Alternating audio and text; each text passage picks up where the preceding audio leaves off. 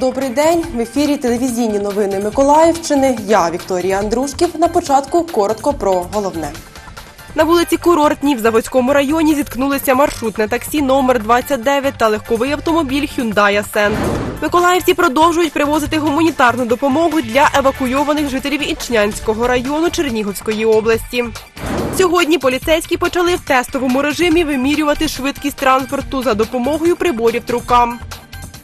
Сьогодні вранці на вулиці Курортній в Заводському районі зіткнулися маршрутне таксі номер 29 та легковий автомобіль Hyundai Ascent.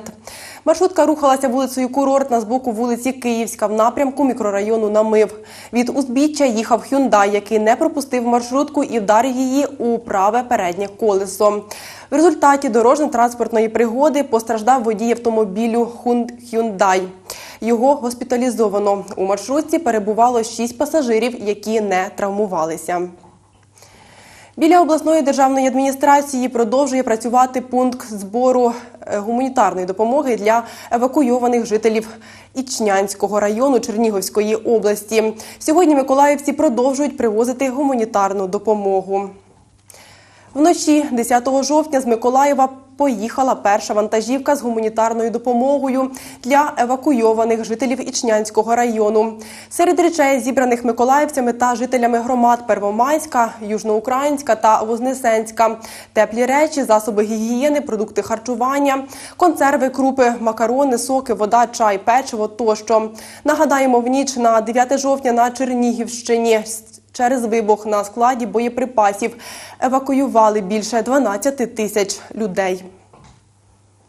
В районі села Нечаяне на трасі Миколаїв-Мелітополь Новоазовськ поліцейські почали в тестовому режимі вимірювати швидкість транспорту за допомогою приборів трукам.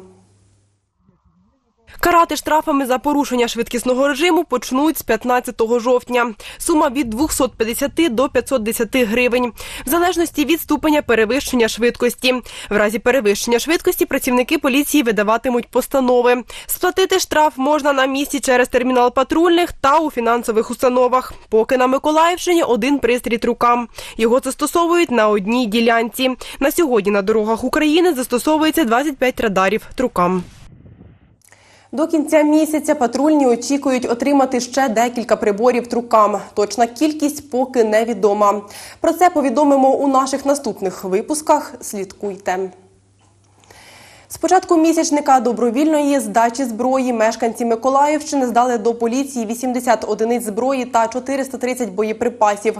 З 1 жовтня в Україні та Миколаївській області стартував місячник добровільної здачі зброї, метою якого є надання можливості громадянам здати до відділу поліції незареєстровану вогнепальну зброю, спеціальні засоби самооборони, боєприпаси та вибухові матеріали. Нагадаємо, що особи, які у зазначений термін здадуть вогнепальну вогнепальну зброю після проведення додаткової перевірки технічного стану зброї мають можливість за наявності законних підстав оформити відповідні документи та зареєструвати їх у свою власність. Місячник добровільної здачі зброї триватиме до 31 жовтня.